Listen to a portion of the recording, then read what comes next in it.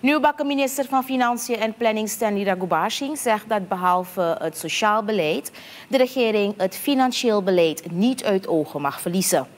Dat zei hij vanmiddag op een persconferentie waarin de regering de samenleving wilde informeren over de actuele ontwikkelingen in Suriname. Uiteindelijk is het een samenhang van welvarendheid die gaat zorgen voor de economische groei, zegt de bewindsman. Laten we dat economische beleid goed in de gaten houden.